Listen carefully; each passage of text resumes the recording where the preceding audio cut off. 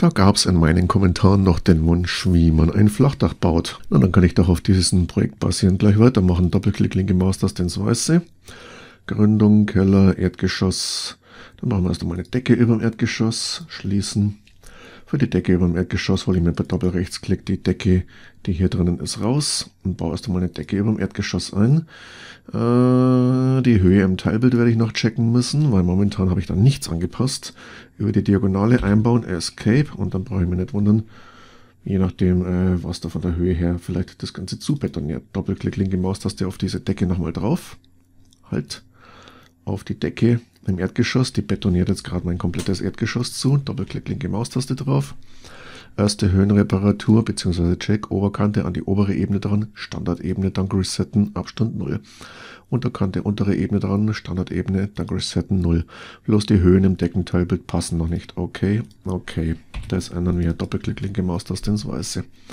Rechte Maustaste hier drauf, Ebenen zuweisen die Höhen, die die Decke halt eben über ein Erdgeschoss braucht. Die zwei Höhen, okay hier, okay da, schließen da. So, der Schnitt reagiert noch nicht drauf, weil die Teilbilder noch nicht zugewiesen sind, die beim Schnitt wichtig sind. Deshalb Doppelklick linke Maustaste auf den hellblauen Rahmen drauf und dann noch ein paar Teilbilder zupacken, die wir aus der Bauwerkstruktur hier oben brauchen für die Decke hier und für das Dachgeschoss hier. Hier. Äh, das Obergeschoss, das wird bei mir fürs Flachdach genutzt. Rechte ähm, ich weise das mal zu. Okay. Anwenden, schließen. Doppelklick linke Maustaste ins Weiße. Ich mache im Obergeschoss das drauf. Rechte Maustaste, äh, Flachdach nenne ich das jetzt mal. Und beim Flachdach haben dann die Teilbilder, was weiß ich, die Nummer 40, dann vielleicht andere Namen. Nicht mehr Grundriss, sondern Attika. Ja. ATK fürs Flachdach, weil genauso eine brauchen wir jetzt. Und die stellen wir mal ein. Teilbilder so. Schließen. Außenassistenten hole ich mir mal eine passende Wand raus mit äh, beim Easy-Assistenten, Wände stützen und da gibt es das Ding hier, Wand gerade. Äh, rechteckig zeichnen, einbauen äh, oder einstellen die Eigenschaften. Höhe überall mal gleich hoch und dann gehen wir mal rein.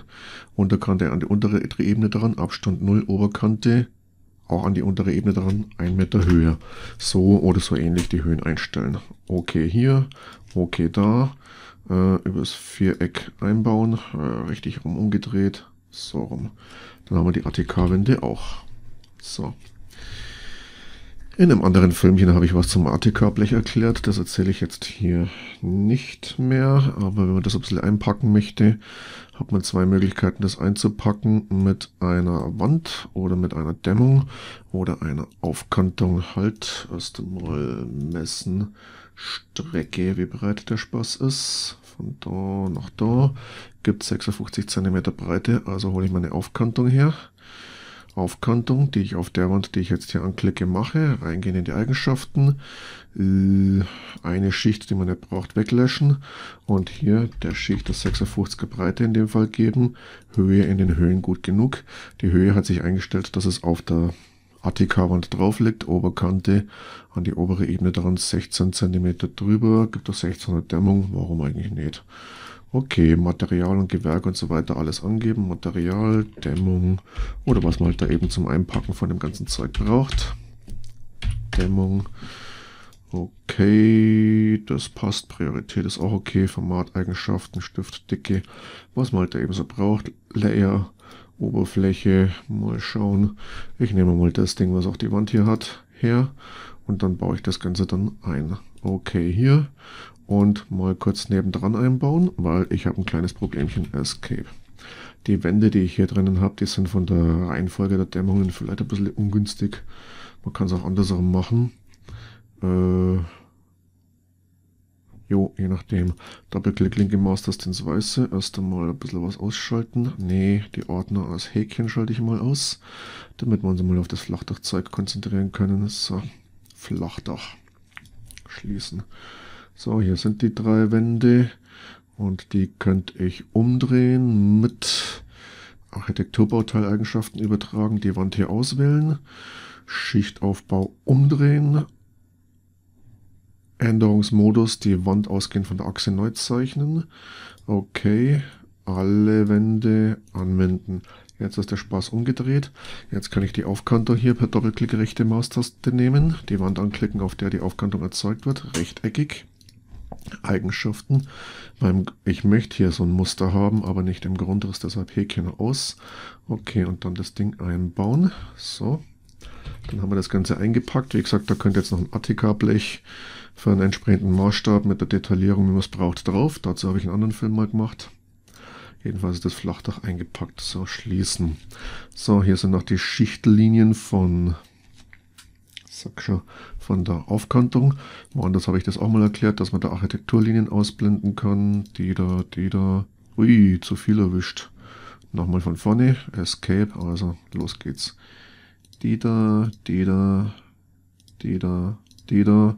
Und die Verschneidungslinien der Schichten brauchen wir nicht. Weg mit dem Zeug. Na, ist halt ein bisschen Aufwand, je nachdem, was man da hat. Ob man die Dinger sehen möchte oder nicht. Aber ein anderer Zuseher wollte die Dinger mal nicht sehen. Also erzähle ich das nochmal hier, wie man es ausblendet. Escape macht's fertig. So, ATK Blech drauf, fertig. so, dann brauchen wir hier vielleicht noch ein bisschen Dämmung und so weiter. Und das erkläre ich soweit, dass ich mal eine Decke nehme.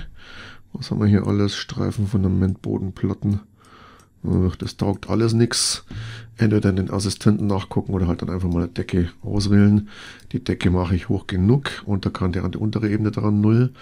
Oberkante von der unteren Ebene weit weg. Wie halt das ganze Paket mit Decken, Platten, Dämmung und, und, und, und Substratschüttung oder Kiesschüttung oder was auch immer. Wie dick das halt ist. Äh, da wird es in Zukunft aus dem Hause Alplan noch sicherlich weitere Entwicklungen geben, die das ganze Thema noch interessanter machen mal ganz kleines bisschen in die Zukunft zu leuchten. Aber ich mache das Ding jetzt mal 35 cm dick. Okay, dann braucht man natürlich noch ein Gewerk wie Wärmedämmarbeiten oder Wärmedämmverbundsysteme, Wärmedämmarbeiten, Material, Dämmung und so weiter. Bezeichnung weg damit. Okay, dann brauchen wir noch eine Stilfläche, äh, Dämmstoff, Oberfläche, nehme ich wieder das Ding hierher von der Textur, das passt. Ich baue jetzt mal eine Schicht ein, das soll es dann sein und das soll ausreichen. Äh, man kann natürlich auch mehrere Schichten der Reihe nach einbauen. Es geht auf OK, einbauen und bitte Diagonale. Fertig, jetzt sieht man mal die Dämmung. Eine zweite Schicht, die für Substrat und Dachbegrünung steht, könnte man ja noch machen. Äh, Soweit möchte ich mal gehen. Weiter möchte ich mal nicht gehen. Man könnte hier noch mit irgendwelchen Dachebenen mit 2% oder was weiß ich arbeiten, dass man da irgendwelche Gefälle mit reinbastelt. Aber soweit gehe ich jetzt mal nicht. Dafür nutzt man einfach normale Dachebenen, wie beim Satteldach oder sowas. So, schauen wir mal die Teilbilder an. Setzen wir mal das Häkchen beim Wohnhaus, dass ich alle Teilbilder der Reihe nach habe. Das sieht man nochmal schön langsam, dass ich die Wohnhausteilbilder hier alle habe, bis zur ATK. Ja, da hätte man noch ein bisschen was mit Teilbilder auftrennen können, aber in dem Fall kann man das auch alles in das Teilbild reinschmeißen. Schließen. Jetzt ist das Zeug da, inklusive Schnittteilbild und je nachdem, wie man das Ganze dann eingepackt hat.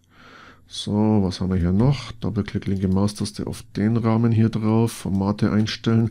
Die Linie stört mich fast ein bisschen als Ansichtskante. Das ist bei den Kanten hier die durchstoßende Linie, wie es hier bei der Decke ist. Aus die Maus anwenden. Ach so, jetzt treffen sie sich hier wieder nicht zwischen unterschiedlichen Bauteilen darstellen, anwenden.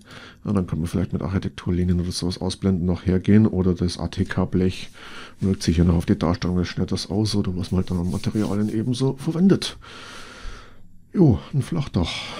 Flachdach sozusagen im Rohbau, wie gesagt, Dachbegrünung als weitere Schichten und ATK-Abdeckung drauf. Das kann man dann noch alles zusätzlich äh, jo, machen. Aber soweit halt mal fürs Erste, damit man mal sieht, wie die Technik funktioniert.